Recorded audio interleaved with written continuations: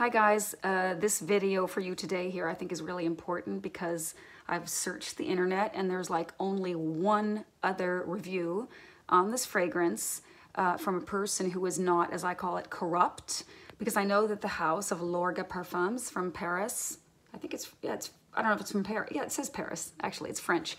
Um, it's called Musc Palawan this fragrance. And I think it's a great fragrance, but I can tell that they have been typically sending influencers, you know, like either three full bottles and the rest uh, samples or one full bottle and a discovery kit to a lot of influencers.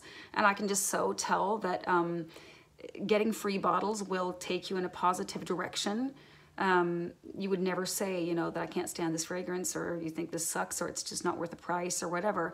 And I've only found one person and she calls herself the Fragrant Friend J.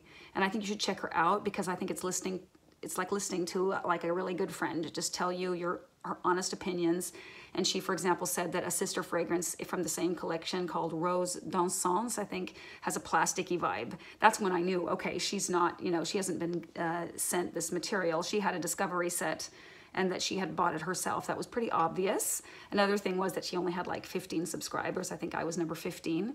Uh, and I really, really appreciate these kind of reviews. Okay, so here's mine. This is a really expensive fragrance. I just want to point that out because I think it's something to take into consideration. And I am not sure that I would have paid full price for this. It's uh, like 250 euros. Um, for 65 mil. It looks like a pretty big bottle, but as you can see that it starts like here. So it's not as big as it may seem. It has great presentation. It's got a great big heavy top. Um, it, I mean, it weighs a ton and so does the bottle. So it really feels like luxury. Um, this is a fragrance also is not for everyone. It is not a safe blind buy. Not that any fragrance is, but this definitely is not. It's a fragrance that I will use quite seldom. It's like a vacation kind of fragrance. But I had a little sample from a friend from this very bottle because she had bought it secondhand and she couldn't she just couldn't deal with it. It was just too much for her. She tried many times, it just didn't work for her. And I kept, you know, I kept trying this little tiny, tiny sample lasted me like four wearings. So it really, you can really tell that this is, has a high concentration of perfume. Uh, it's an extrait de parfum and you can really tell. Uh, the projection is great, the longevity is great, and I really got so hooked on the smell, although it did take a little getting used to at first sniff. It wasn't really a love at first sniff, but it was kind of like, oh, I feel intrigued at first sniff. So it has kind of like a green citrus kind of opening. And then there's in the mid, it has these like tropical fruits and flowers. Um, strangely enough, there are no fruits listed. It might be the honey in there that gives it this, but I'm sure it has like exotic fruits. I think I saw even several people also mention that they could they could tell. I'm not sure if it's like you know, if it's passion fruit or it's mango or pineapple or um, maybe some fruits that I don't even know what it is, but it has kind of a green quality to it. It has a hint of coconut. It has vanilla, honey, and musk, of course. Jasmine, and then sea notes. I think it has kind of like an ambergris feeling and a little bit of like a marine kind of feeling to it. Um, and I get that saltiness vibe from it. So it definitely is a beach scent, but in kind of a non-sunscreeny kind of way. It doesn't smell like Bronze Goddess or Beach Walk. Um, it's more like a, and it doesn't smell like Acqua di Sale. It doesn't, you know, it smells, it smells good. It doesn't smell like seaweed and that kind of thing.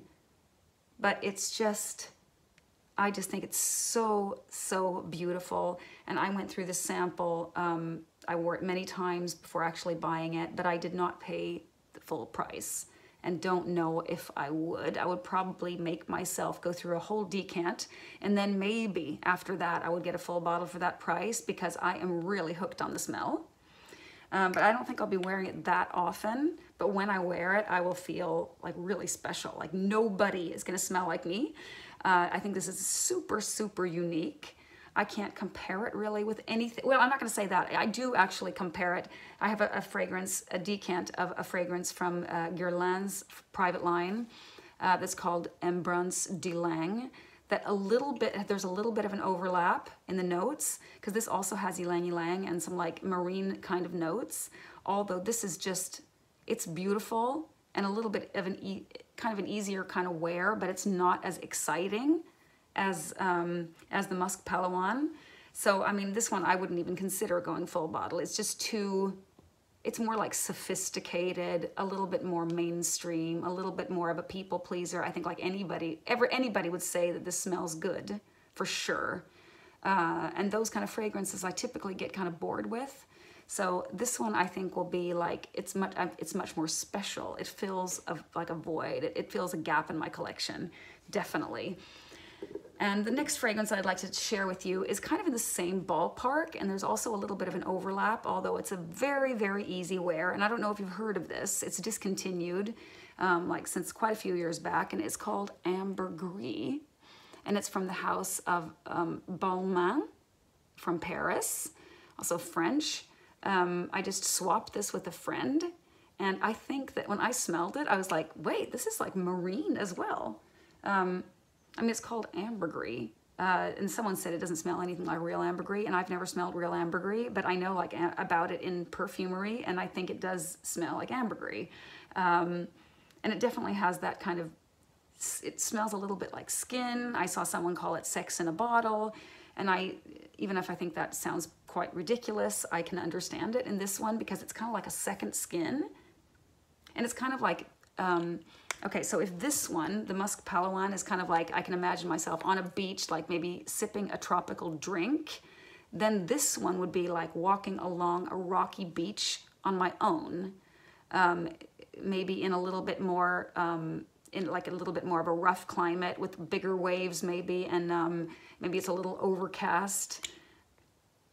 It's not like a sunscreeny uh, beach vacation kind of scent as much as the other but I do get that marine kind of vibe from it. Although many other people online have described it as like a Christmas scent where you can really feel the cinnamon. And I don't think it has, let's see, cinnamon is not even listed, uh, but it does have like notes. It's pretty oriental at the same time as, as it's really kind of skin-like. But it has myrrh, it has pink pepper, sage, tuberose, incense, frangipani. So the other one has ylang ylang and this one has frangipani. And they're kind of a little bit in the same, similar kind of tropical type of flower. It has benzoin. The other one has vanilla. Um, I think they might both have ambergris, especially this one for sure has it, and cedar and tonka. So this one has like, it's kind of, it has a really, I cannot pick out the notes individually, but together it's just, it forms a really, really nice composition where it's all so soft and it's such an easy wear. It's just like, I loved it at first sniff and it doesn't, I don't think it changes that much on the skin. It just kind of, it's just beautiful from beginning to end. Um, I think that this other one, uh, Musc Palawan, is more of a like, it's kind of really green from the beginning and then it kind of changes. It's really interesting in that way because it has its different phases. But this one is like, it's just good from beginning to end. And I will cherish these drops because it, it'll be hard to get a bottle. I saw a bottle on eBay for like ridiculous sum of money, like $360.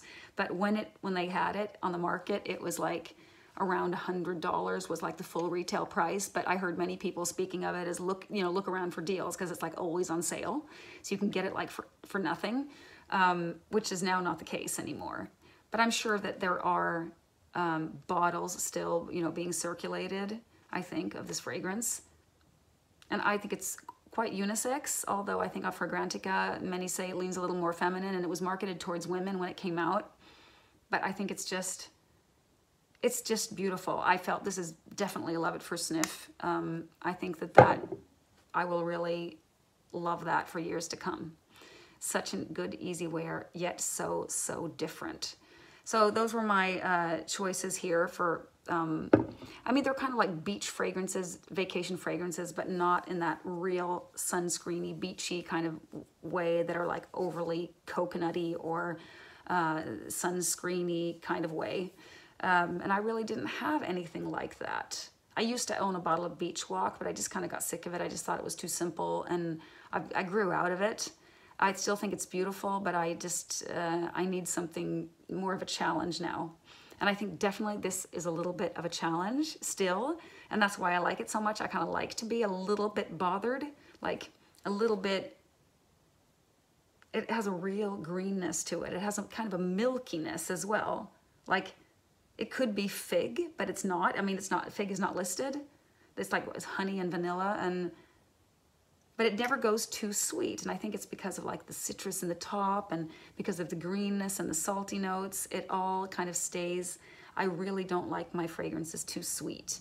Like what I really don't like is like ca caramel and that kind of sweetness. This is nothing like that. This is just like, I just think it's so, so, so darn good.